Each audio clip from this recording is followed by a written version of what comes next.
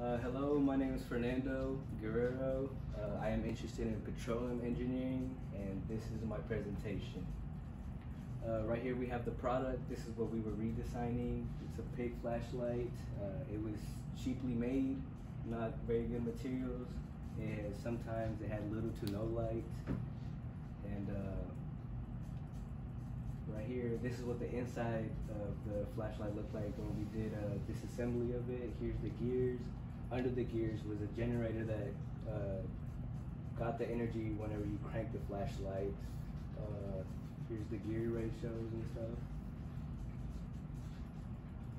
Uh, right here's the specs table. We did some interviews to see what uh, some of the customer needs were.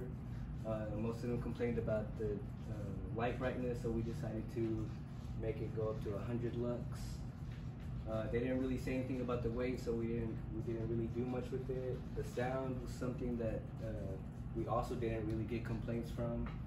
And uh, so one of the things that we decided to increase was the light duration from four to four to six seconds. And uh, most of the uh, interviewers said the crank force actually felt good and it relaxed them. Uh, this is the black model, black box model we some of the output, I mean inputs to produce light was electricity and hand energy, uh, which it led to outputs like the light and sound and vibration from the flashlight itself. This is the energy flow diagram. It shows the movement of energy when uh, producing the light. It starts off with the human energy, which is whenever you use your hand, to mechanical energy, and then it goes to electrical, and then it produces the light energy. Right here's the final sketch.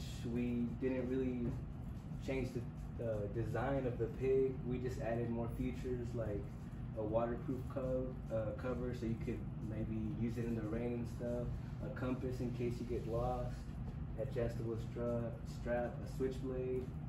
Uh, we decided to add a laser and a UV light, and uh, we did we put speakers on it, a smaller handle for a better uh, a better crank force, and uh, we really just wanted to make it more of an outdoor uh, survival kind of flashlight. That is all. Thank you.